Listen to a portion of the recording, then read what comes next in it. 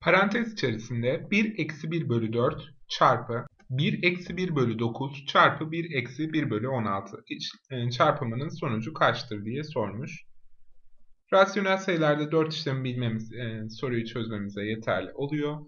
1 eksi 1 bölü 4 3 bölü 4 bunu iki şekilde yapabiliyoruz. Ya 1'i 4 bölü 4 şeklinde yazıp eksi 1 bölü 4 diyerek 3 bölü 4 yazarız.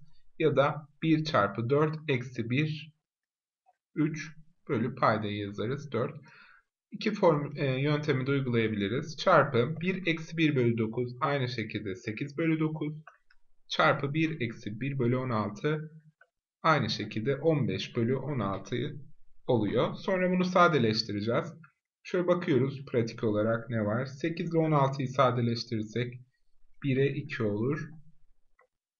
15 ile 9'u sadeleştirirsek iki tarafta 3'e bölünüyor. Burada 5, burada 3 kalır. Sonra 3 ile de şu 3'ü götürdüğümüz zaman sonucumuz tarafta 1, 1, 5 kaldı 5. Alt tarafta 4 ve 2 kaldı 8.